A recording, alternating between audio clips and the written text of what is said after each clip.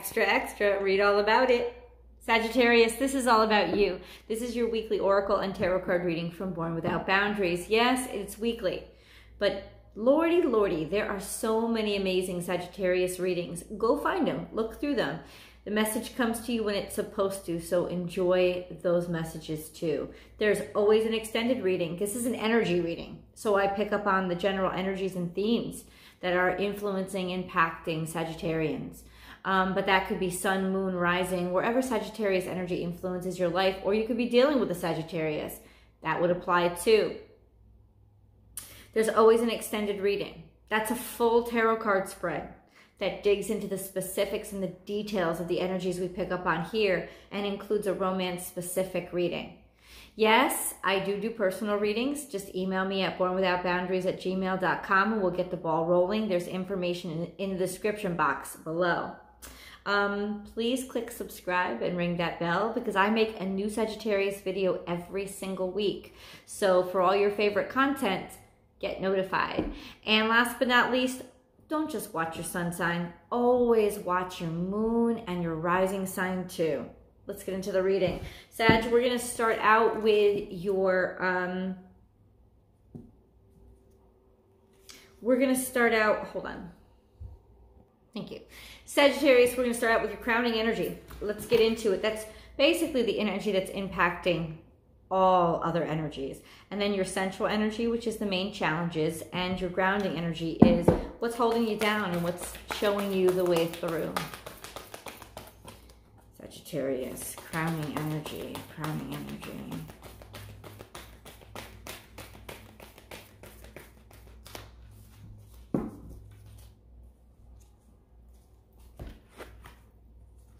Use your mind wisely, and Spirit has a plan.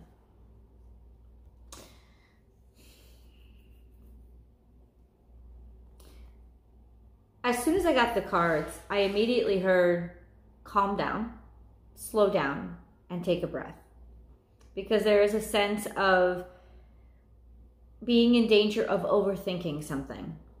There's this sense of tapping into spirit and tapping into like just taking a load off your feet and not being so hard on yourself. Tapping into your sense of wisdom as opposed to what you know. Because what you know isn't going to give you the answers here.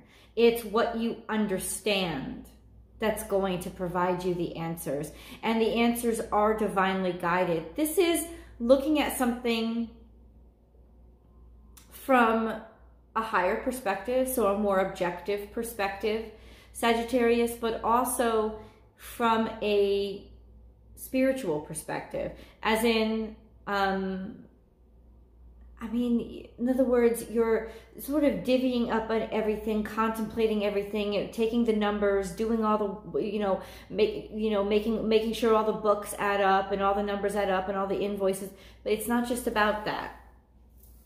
You know, it's it's almost in it's the answer isn't in the pragmatic now. The answer is in that voice inside of yourself.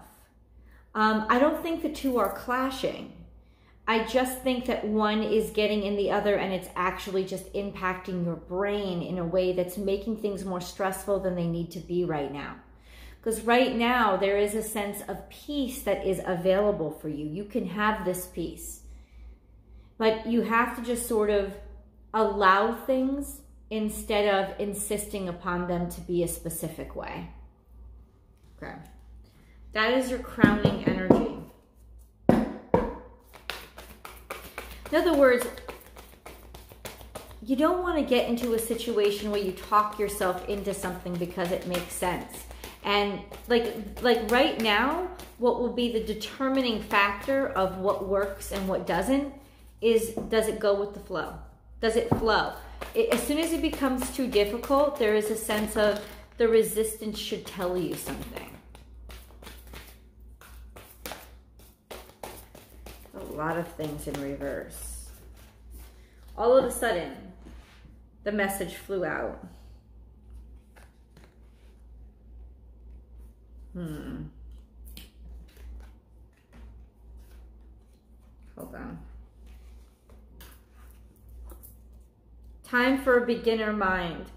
So you are starting things over. You are starting things new. This is a, a walking into a room, uh, walking into a different place in your life. Um, but being on super on guard and maybe even defensive, knowing that you're vulnerable, feeling vulnerable, but being prepared. This is also speaking defensively or hearing somebody say things in a defensive manner. There's so much. Magic works through you. This is Cancerian energy, five plus two, uh, energy of seven.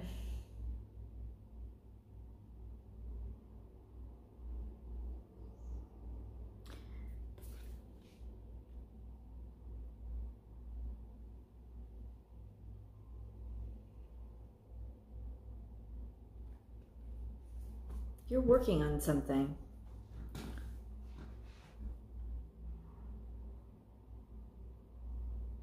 That may require a change in who you are to get it done. Trust the great mystery. You're just diving in, which is the way, which is what you should do.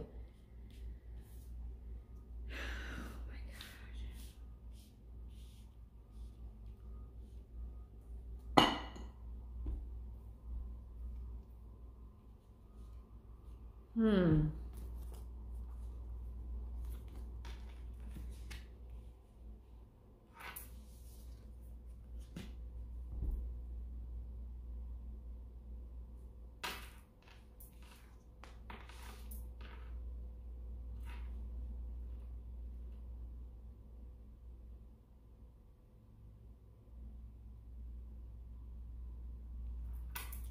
This could very well be accepting a new job or accepting a new position because this is puts you in a new position. It puts you in a position or it's starting back up to work again.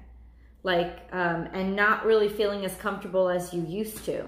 There is this sense of wanting to do things differently, of really not wanting to go back to work of feeling feeling like you want to do something completely new even though you know you're sort of like a fish out of water but there's an opportunity here and you want to just take it. You want to just go for it. This is a pause. This is not yet ready. Hold on. This is not yet ready. This energy isn't isn't ready to take off yet. It's almost trying to see things. It's trying to see things differently, trying to look at things differently. This is your central energy, your heart energy. This is trying to look at things differently.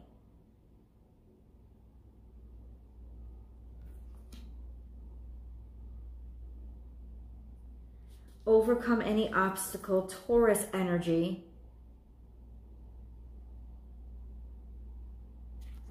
This is also, this is Taurus energy as in being attractive, people liking you, people, and maybe that's what it is. Maybe it's your charisma that's actually pushing you through. The abundant universe will provide. This is a sense of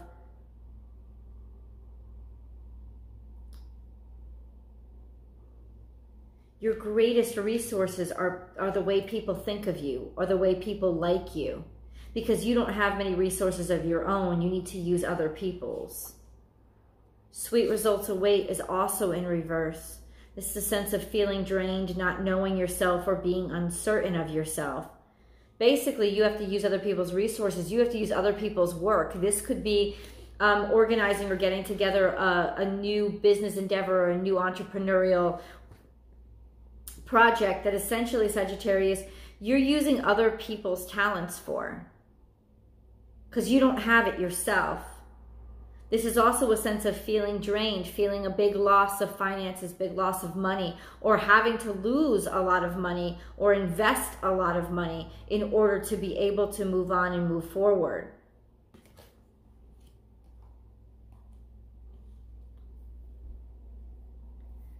This is hanging out over here, which is feeling stuck in the dark, almost feeling claustrophobic. You don't really like the sense of not being in control, of not of, of having to depend on others in order to make it through. But there is that sense of right now lack of financial resources is is blocking you or is kind of restricting your ability to be free. So there is a necessity, Sagittarius, for you to sort of do things in a way that you don't necessarily want to do them, that aren't the most comfortable for you. You may have to go, so this is Cancerian energy.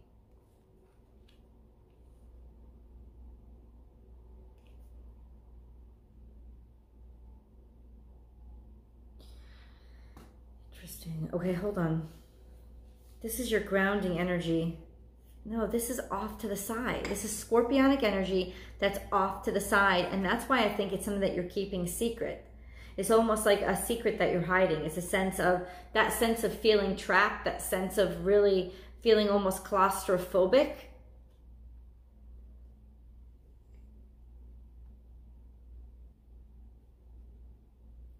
You're trying not to let somebody see that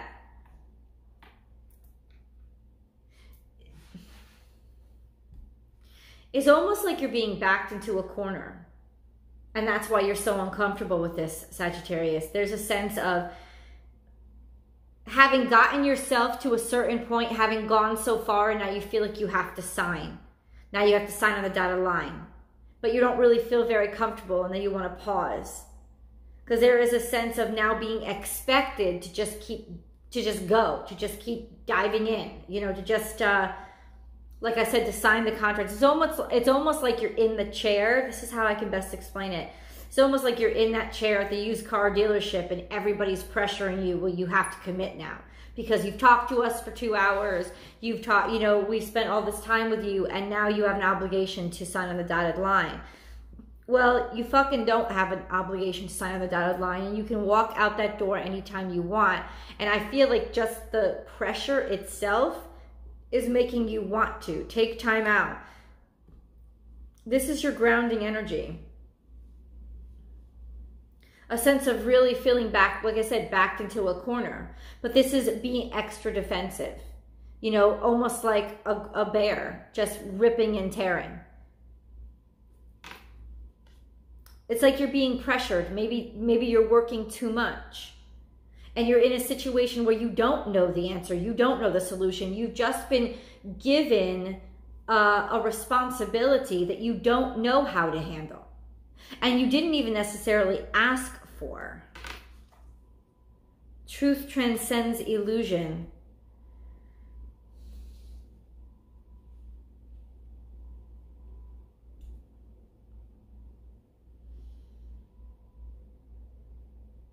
You're trying really, really hard to get to the bottom of something.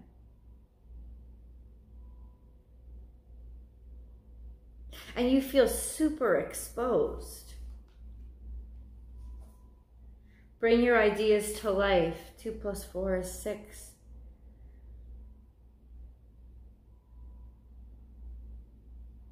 So your grounding energy, your way through is 100%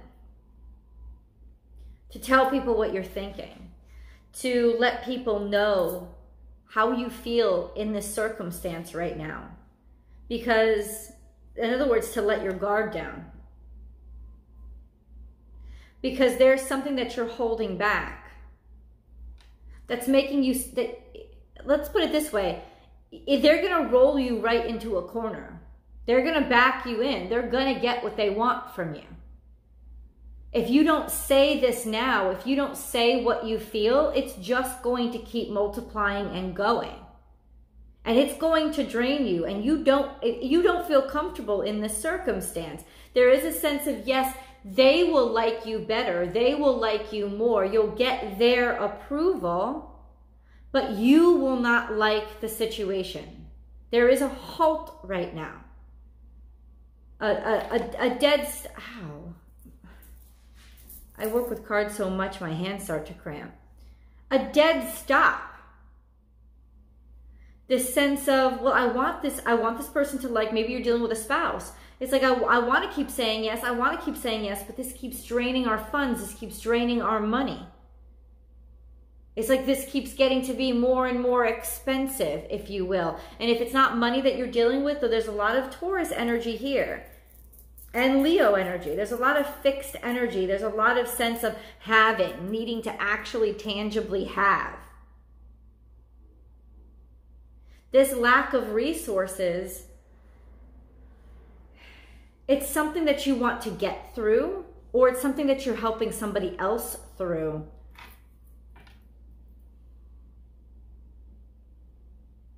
This is a sense of you actually being the one that's supporting somebody else right now. Helping somebody else.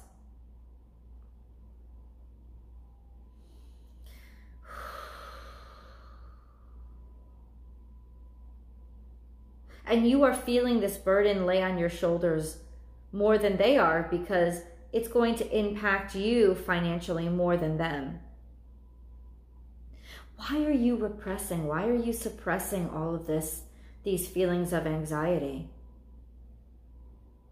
See, there's something attached to all that's going on right now that I need to understand better.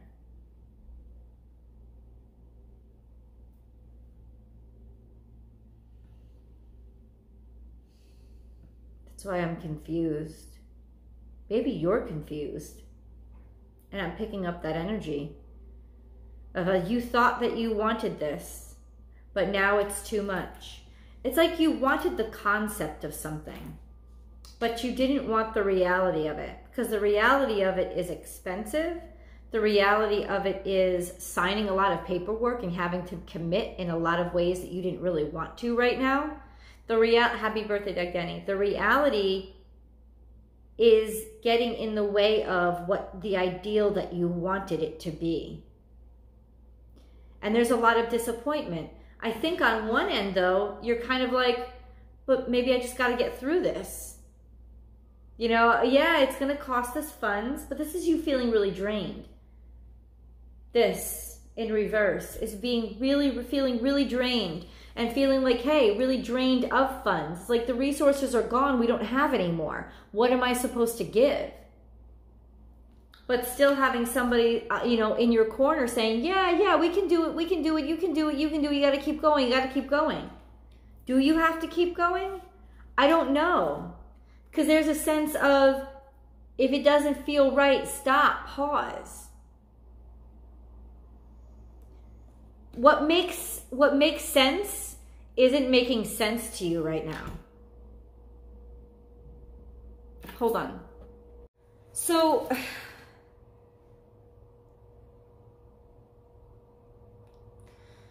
Okay.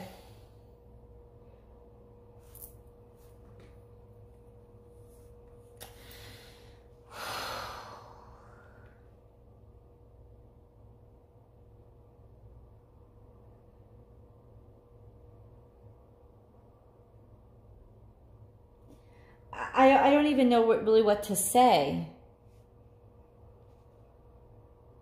There, there's just such a feeling of, of um, discomfort here. You're not ready.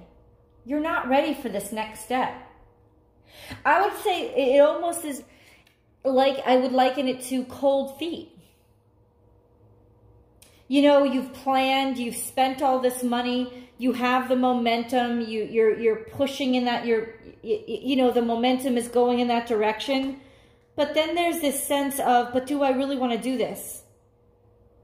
It's, it's like feeling the noose starting to wrap around your neck and trying to hide it because it's like there's so much invested in this point right now. You just want to sort of barrel through, but look, like focus on the pretty stuff because this is like the pretty side of Taurus, the glamour side of Taurus. Look, you know, look at look at my dress and and you know, look at all the stuff that we've spent and, and you know, look look at how shiny the new car is. Like, let's look at the pretty stuff because maybe that will help me forget about how much I've put into this and how how much I've had to invest to get it and like how much I really am nervous and scared about diving into this more domestic situation, this this larger commitment. I don't necessarily because this is Cancerian energy. That's why I said domestic, but you know, you may be buying a house and having cold feet about signing the lease because it's like, oh my God, what if um, there's something I didn't read? What if I'm missing a clause? You know, we're heading into Mercury retrograde. This isn't a good time to sign a contract. Or if you're going to sign a contract, then you should look over it once, look over it twice. Let yourself slow down. allow yourself to slow down. And I think that's what this crowning energy is. It's like you're you're struggling against what makes sense and what your intuition is telling you. And I will say this to you, Sagittarius. Go with your intuition. If only because, not to say that you're not going to buy that house or you're not going to go through with that wedding. I think you just need, you're like, you're feeling the slowing down. Jupiter is in retrograde.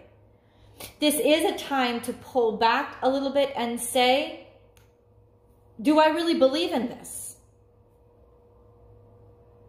What is it that I really believe in? And if I if I really believe in this, how do I get how I go about this to align with my values? Because right now they seem to be a little bit out of sync.